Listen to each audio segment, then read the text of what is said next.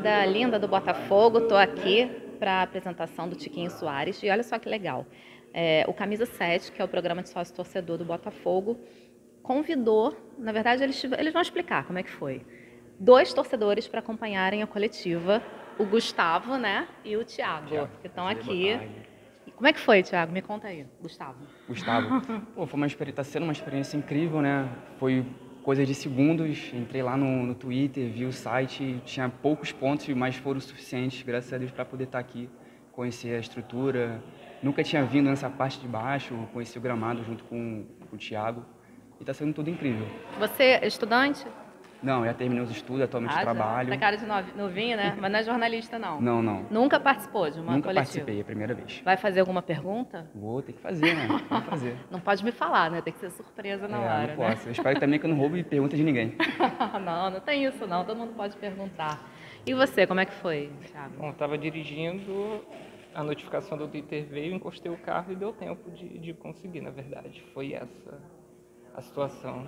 E está sendo maravilhoso, na verdade. 38 anos de idade, eu nunca tive a oportunidade de ter um, o acesso interno ao Newton Santos e conhecer já a é, é, parte interna. A gente foi até o gramado e ver uma entrevista de um jogador tão importante que vai meter bastante gol para a gente, com certeza. Amém.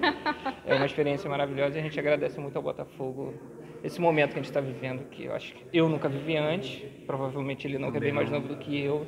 A gente espera que só melhore daqui para frente. E você, qual a sua profissão? Nesse momento, é. desempregado, sócio torcedor, como? Não sabemos, mas o Botafogo faz isso com a gente. Mas é assim, é porque eu sou jornalista, então para mim é uma coisa muito comum, né, coletiva. Como é para vocês, assim, vocês sempre tiveram é, curiosidade de saber como é que é? O que, que é esse momento, assim, agora para vocês? O Botafogo, ele é maravilhoso em todos os sentidos, porque essa seria a profissão dos meus sonhos. Eu te conheço, conheço o marido. Ué, ainda dá tempo, é, não, não, é um detalhe, porque assim, quando eu era garoto, eu tinha 14 ou 15 anos, a Rádio Nacional tinha programas, né? Sim. E na época que o Wellington Campos apresentava alguma coisa com a ídolo, galera. Ídolo. E sabe quem, com quem eu tive vontade de falar? 14 anos eu liguei e falei, cara, vou falar, era o Newton Santos. Subi pro quarto correndo, chorando. Aí ele falou comigo, só chorava. Falei, caraca. Aí a pergunta foi qual era a posição que ele tinha jogado. A gente já sabia, né, que seria de zagueiro. E ganhou o livro do Newton Santos na época. Então, assim, é uma parada que é maravilhoso e o Botafogo ele proporciona tudo, assim, inclusive realizar uma parte desse sonho. Que legal. Tá aqui hoje que legal, aqui. Que legal. Vai fazer alguma pergunta? Se houver oportunidade.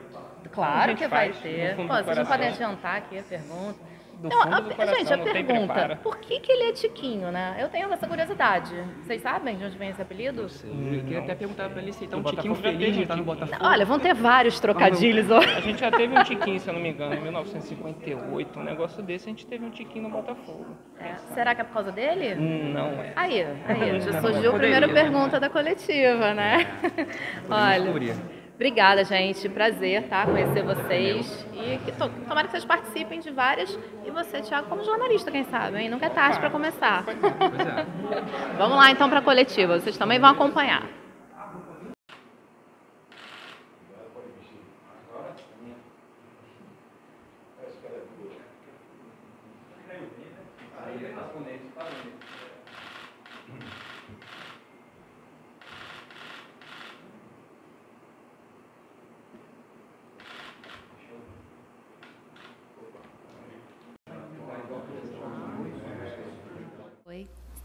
Boa tarde, seja bem-vindo ao Botafogo.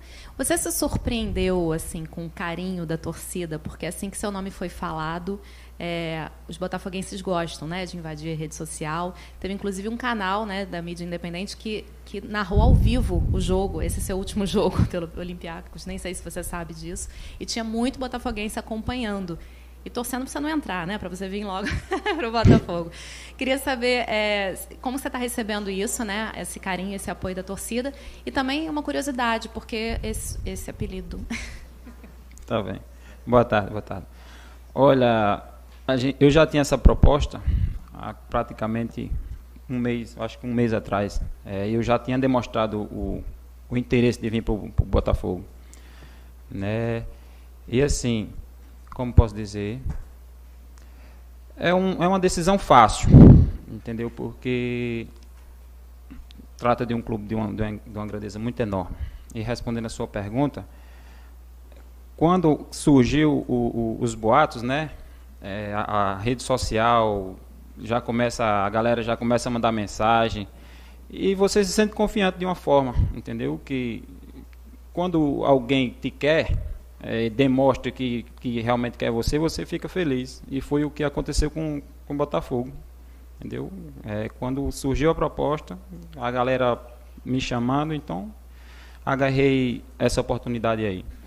E sobre o apelido, é, a minha mãe, é, quando me teve, né, eu era bem pequeno mesmo, bem pequeno, e tinha uma vizinha que quando chegava lá em casa, ela sempre perguntava, cadê o Tiquinho?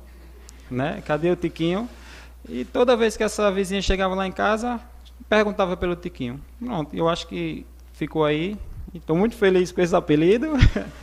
Cresci bastante, né? Então, acho que foi mais ou menos assim. Tá aí, matou minha curiosidade. Seja muito bem-vindo, Tiquinho. Agora, uma coisa que o Mazuco explicou, né, sobre aquela lesão que a gente viu naquele jogo do Olympiacos, foi o seguinte: é, ele disse que já estava negociando com o Olympiacos há um mês, mais ou menos, e, mas o clube só ia liberar o jogador se ele jogasse esse último jogo, né? Que foi aquele que até o Pedro Depp transmitiu, né? Estava lá na minha pergunta. É, então foi assim, ele ficou com medo de não jogar e o clube não liberar. O que aconteceu? Ele jogou um pouquinho só, né? Teve aquela lesão muscular e agora vai precisar se tratar. Em três semanas ele acredita que vai estar liberado para começar a treinar com o grupo e tudo. Atrasou um pouco, né? Na verdade, bastante essa estreia dele pelo Botafogo, mas fazer o quê? Né? O clube pediu, é, era como se fosse um, uma, uma cláusula lá, ele tinha que participar daquele jogo, senão não ia liberar. Então acabou acontecendo isso. Eu sei que vocês estão esperando é, entrevista com a mulher dele, mas ela não veio, provavelmente ainda não chegou no Brasil, a Ângela. Mas assim que ela estiver aqui, claro que eu vou tentar fazer. E eu não vou acabar essa reportagem sem colocar a pergunta do nosso querido sócio torcedor, que estava tão ansioso para fazer a pergunta, o Tiago. Vamos então encerrar com a pergunta do Tiago e desejando mais uma vez boa sorte para o Tiquinho e saudações alvinegras.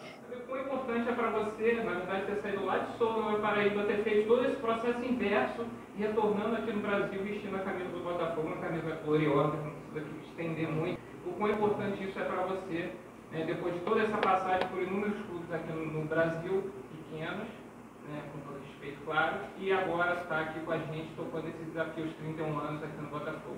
Se a bola pintar ali para mim, eu vou estar sempre bem posicionado para tentar fazer os gols. Eu acho que vai dar certo.